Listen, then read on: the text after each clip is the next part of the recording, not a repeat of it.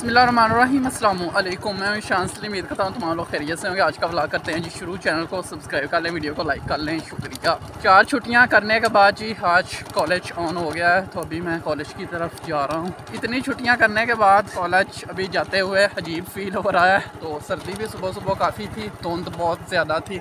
अभी सूरज साहब भी निकलना शुरू हो गए हुए हैं। तो अभी कुछ ही टाइम तक धूप धूप हो जाएगी, माशाल्लाह। हमारे करीबी जी रिश्तेदार हैं तो उन्होंने रखी हुई हैं बतखें भाई साहब, अभी पानी में नहाने आ गई हैं बतखें। नहा लें नहा लें भाई।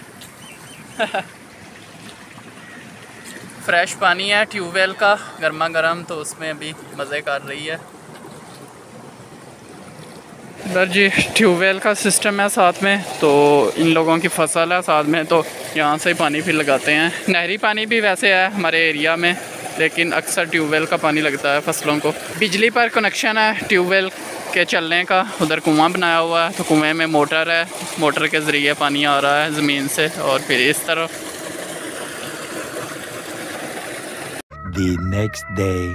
सुबह का मैं कॉलेज गया था तो कॉलेज से अभी वापस आया हूँ। भूख लग गई हुई है। तो अभी खाते हैं जी पंजीरी जो पहले बनाई हुई है घर में।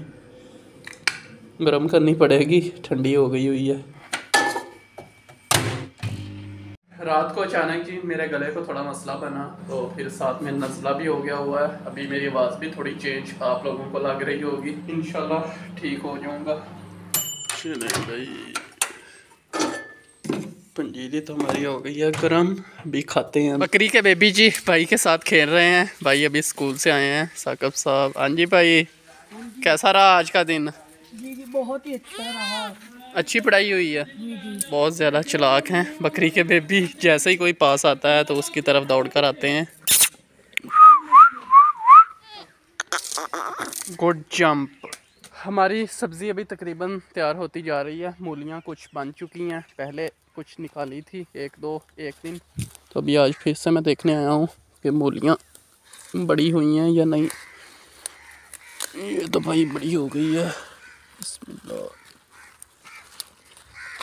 जो जो बड़ी मूलियाँ वो निकाल लेते हैं।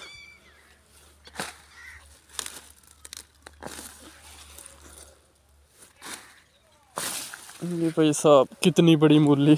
माशाल्लाह जी, इतनी मूलियाँ उतार ली हैं तो अभी इनके पत्ते उतारते हैं और बकरियों को डाल देते हैं। बकरियाँ शौक से खाती हैं। ये वाले पौधे हमारे पिछले साल के हैं, बैंगन के तो इन पर अभी से फिर बैंगन लगना शुरू हो गए हुए हैं।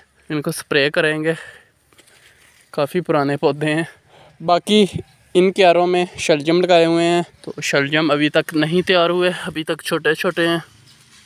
ये भी कुछ दिनों तक पक जाएँगे।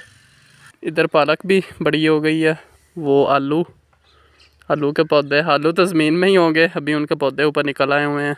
आलू एंड में तैयार होंगे, बाकी सब्ज़ी जब सब ख़त्म हो गई। इधर क्यारे दो लहसुन के, इसके अंदर से घास वगैरह निकालना है, लहसुन के क्यारों में से, इसको गोडी करेंगे। लें जी, खाएँ भाई आप तो।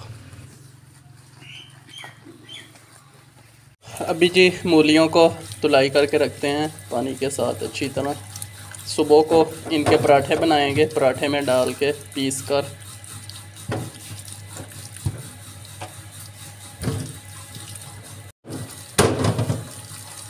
कल का हमारा G one two five bike puncture हो गया हुआ है तो आज भाई आतफ इसको पंक्चर लगवाने चले हैं। तो पहले इसमें थोड़ी हवा भर लेते हैं पंप के साथ आके शहर तक चला जाए आसानी के साथ। अगर हुआ बड़ा पंक्चर तो हवा अभी निकल जाएगी, अगर छोटा मोटा पंक्चर हुआ फिर भाई पहुँच जाएँगे सिटी आसानी के साथ। अभी देखते हैं, अभी तक तो परी जा रही है हवा टायर में, बाहर हो रही है परें परें हवा।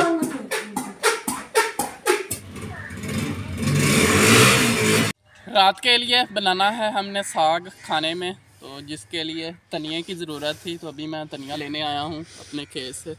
धनिया लेकर जाना है और साथ में लहसुन के पत्ते लेकर जाते हैं। अभी तक लहसुन तैयार तो नहीं हुआ तो ऊपर से सब्ज़ सब्ज़ इसके पत्ते जो, वो साग में डाले जाते हैं कटाई करके। फ्रेश सब्ज़ धनिया।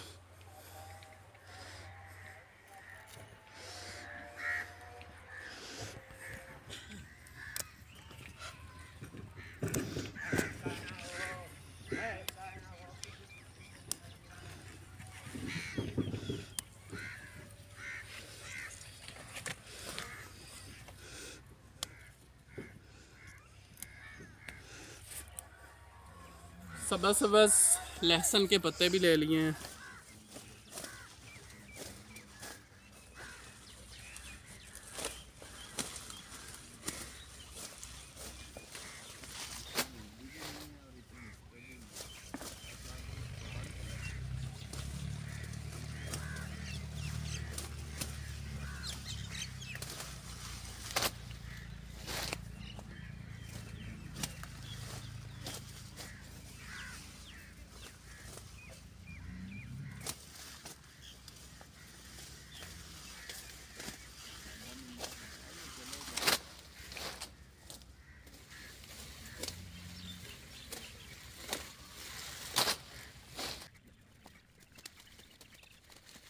A few moments later.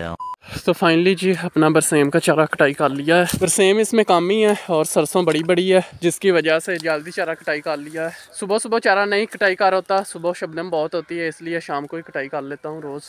मगरिब की नमाज़ का भी टाइम हो चुका है, नमाज़ अदा करते हैं। तो खैर, आज का ब्लॉग यहीं था कि अगर वीडियो अच्छी लगी हो लाइक कर लें शेयर करें चैनल को सब्सक्राइब करें। अल्लाह हाफिज़।